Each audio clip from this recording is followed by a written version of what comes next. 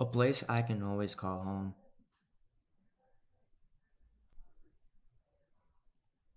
Milwaukee, Wisconsin. This city was my birthplace and has been my home for the past 18 years of my life. It has seen my development. Times where I felt like I was on top of the world, and the times I felt like I was buried alive. All the times I needed to get away and reflect, it has always been there for me. Now that I have to say goodbye, no matter where in life I go, the people who I had to leave, I always call my family. And it's a place I would always call home. The thing that makes it a home and so unique are the people and experiences you had that makes it so special.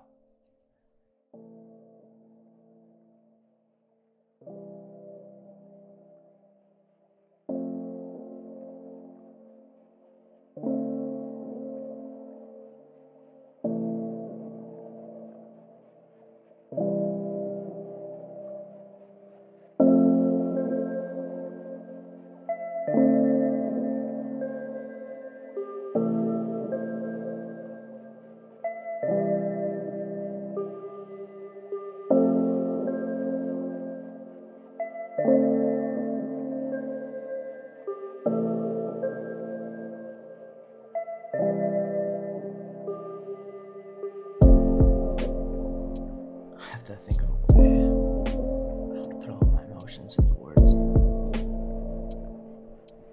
It's just so much to take.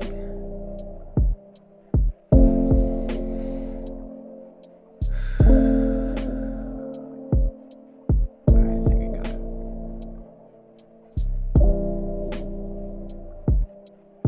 It took me a whole year to even think of an idea on how to write this. Until last week I have to be here. Because to be honest, you won't understand that full picture until that chapter in your life is fully over. I look at my life like a movie. It's probably why this video making thing is my calling. In a movie, you have the development of a character, and through certain trial and error, it takes to the overall theme that character learns. In that rising action part of that story, trial and error consists of all the good, the bad, the character goes through, which makes who he or she is. At the tip top point, where all the suspense of that particular story leads you to. In this first chapter in my life is that story. And the last year of my life has been the climax in that story. It's when I have seen the best and the worst in myself, who creates who I am today.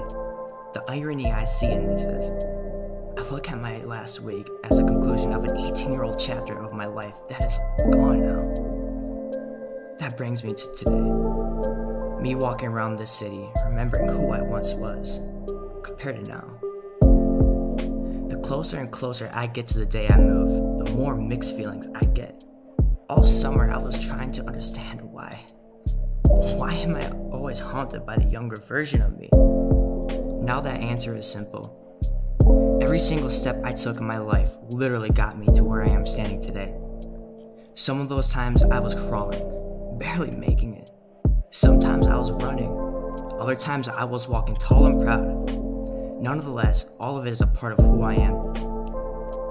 I have regrets which I wish I was able to relive. I also have times I am completely proud of. The last week has been hitting me so hard, and I begin to wonder to myself, why am I even going through with this? 18 years is a lot to take in. Then I tell myself what has happened is over. This is only the end of the first chapter when I have a whole novel to write, and a whole life waiting for me. What it boils down to is this I look at my hands, and I see a camera. That is my future. There is so much more out there for, in this world that is just waiting for me. All I have to do is keep my chin up, brush off the past, and keep taking those steps forward. Sometimes, in order to create a future for yourself, you have to leave home first.